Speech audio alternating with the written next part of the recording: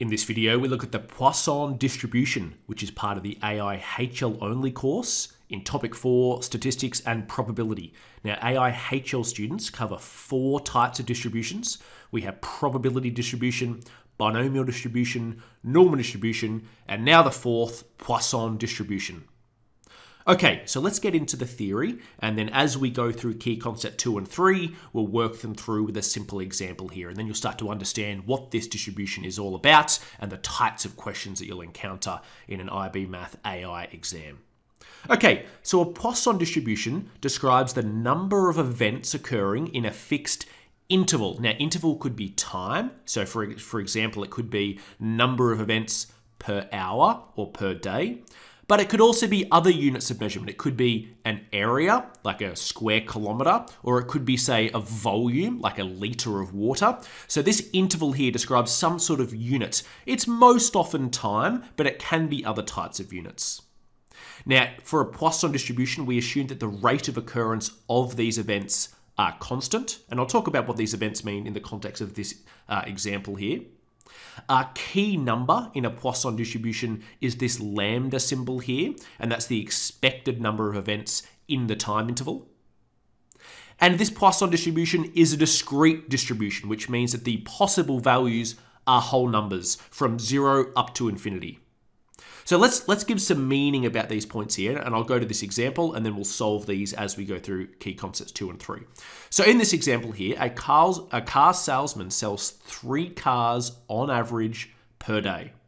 So our interval of time here is per day, and the number of events is how many cars the salesman sells. Now, we assume that the rate of occurrence is constant, so every additional day, the average is three. And even within that day, if we took half a day, we could say that the average cars the, the car salesman sells is 1.5. So throughout the time interval, the rate of occurrence is constant. That's a very important assumption for the Poisson distribution. Now, the lambda in our example here, the expected number is 3. So on average, this car salesman sells 3 cars in the interval, average per day. And it's a discrete distribution. The car salesman can't sell decimals of cars, they can't sell 1.5, they can't sell negative cars. So all the possible outcomes are from 0 and then theoretically, but unrealistically in real life, infinity cars as well. So the car salesman could have a great day and sell 100, could have an extraordinary day and sell 1,000, but they're in whole numbers, either from zero all the way up to, theoretically, infinity. So when you start a Poisson distribution question, it's important to define two things. First is your discrete random variable, which we give capital X. Usually it's some sort of capital letter, and the most common one is X. And in this case here, our discrete random variable, so the, the, thing, the thing that varies is the number of cars that the salesman sells, and it's discrete, so the whole number. So our capital X here is number of cars sold, and this is per day. Let's just add that just to be clear. And our lambda, our expected result, our average, is 3. Okay, now that we have defined those things, you'll encounter two types of questions. And they are the probability of a specific number of events in the interval. So, for example, part A, what is the probability that this salesman sells exactly five cars? Or you'll, uh, you'll be asked for a probability of a range of events. So, for example, in part B, the probability that the salesman sells less than two cars, or in part C, the probability that the salesman sells more than three cars. Notice here that these are ranges as opposed to part A, which is a specific number. Now for specific numbers, we're going to use the Poisson PDF command in our calculator, and for a range, we use the Poisson CDF command in our calculator. So let's go ahead and answer these three questions, and then I'll also touch on what that actually looks like from a visual perspective using this Poisson distribution uh, graph here in the center. This has a lambda of 3 as opposed to the left one which has a lambda of 1 and the right one which has a lambda of 10, just as three examples of what they look like. Okay, so part A asks to find the probability that this salesman sells exactly 5 cars, and we can find that by going menu, probability, distributions, and we go all the way down. We have our two Poisson commands here, right down the bottom, and the first one is Poisson PDF, click that. Our lambda, it asks us for what is the expected number.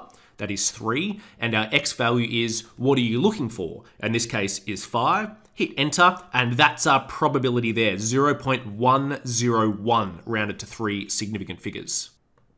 Now, what does this number here mean? This is a probability, 0.101, so 10.1%. That is the probability that this salesman sells exactly five cars, given that his average per day is three. Now, just to visualize that, if I go down to this center here, that this center Poisson distribution here, if I go across to five on the horizontal axis, these are all the possible results. And if I look at the height of this bar here, and I'll just shade this bar in,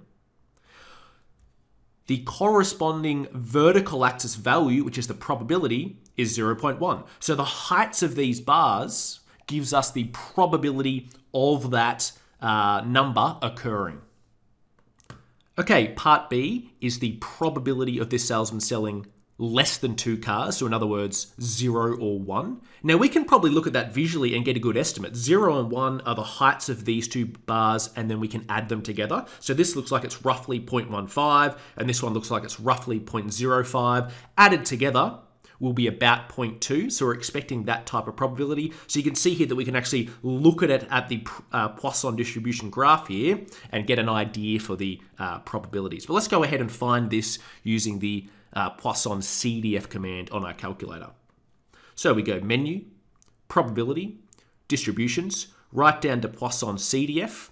Again, our lambda is 3. This time it asks us for the boundary. So the lower boundary is 0. That's the least amount of cars. The upper boundary will be 1 because we're looking at less than 2 cars. Hit OK and we get 0.199. And finally, part C, what is the probability that this salesman sells more than three cars? Well, visualizing what this is here on our, on our Poisson distribution graph with a lambda of three, that will be the combined heights of all the bars greater than three. So it'll be this one here, the four, five, six, seven, eight. And you can see here when our expected number is three, by the time we get to about seven or eight, the probabilities get very, very, very, very, very small, which is why theoretically it can go to infinity. But when your lambda is small, any sort of score uh, or any sort of um, the value above, say, 8 starts to get almost negligible.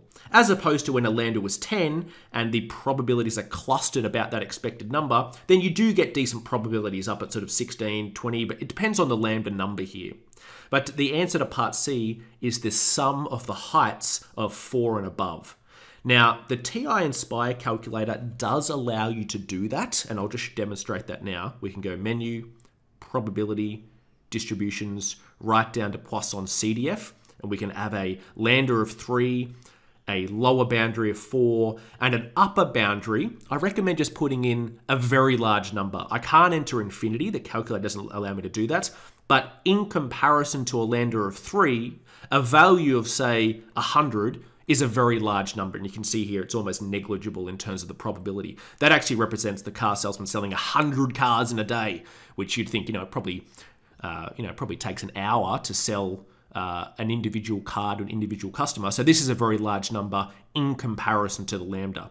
Hit OK, and we get that probability there some calculators don't don't uh, have the functionality for an upper range. So in that case, there we would would actually need to do the complement of this and do one subtract the probability of three or less. So menu, probability, distributions down to Poisson CDF and go 0 to 3 and it gets the same result. It's just a complement because all the probabilities need to add up to one. So two different ways to approach it depending on the functionality of your calculator.